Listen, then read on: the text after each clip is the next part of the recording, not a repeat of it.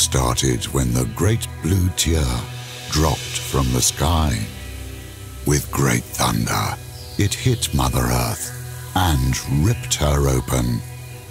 This is how manna came to us. The bittersweet gift from the sky.